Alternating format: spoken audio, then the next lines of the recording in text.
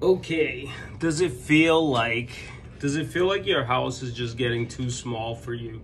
I recently had a few different situations. One where a client is buying a bigger house because their house is just too small. They initially bought a condo, now it's time to upgrade. They had a couple babies. And then I have another client that they're just looking to get a bigger house because the place just feels like it's getting too small.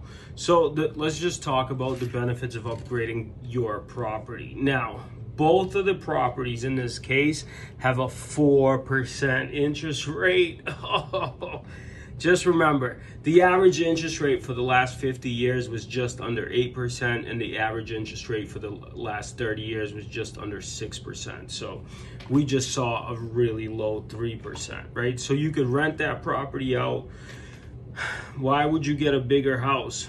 Well, number one is appreciation. Bigger properties, you know, my bigger pieces of real estate, meaning more square footage, just a bigger house, usually appreciate more in value over time. So you'll get that money back in just the appreciation because technically they should appreciate at a faster pace.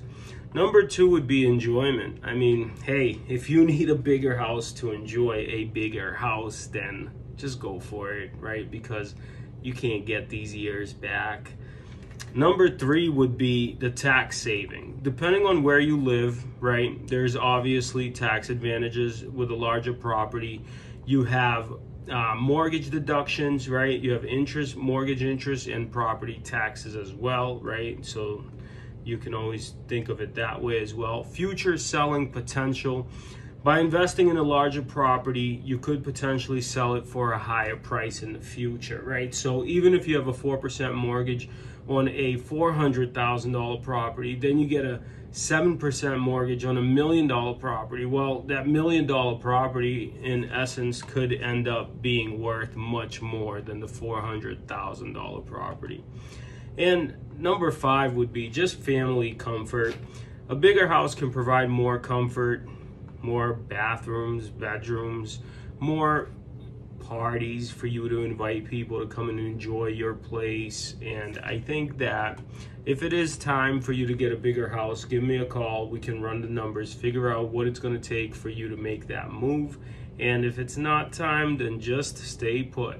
But if you were thinking about getting yourself a bigger house because the house that you're in is just getting a little bit too small, well, maybe it's time we go and have a conversation.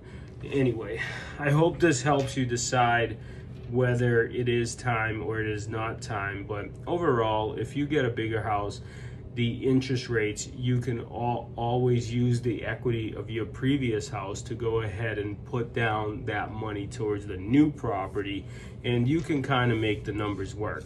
Of course, the interest rates, I mean, might not see the fours and the threes for a while.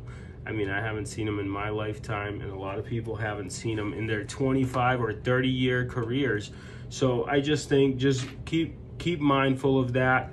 The average interest rate for the last 30 years was just under 6%. And um, if they ever drop, you can always refinance in the future. Good luck.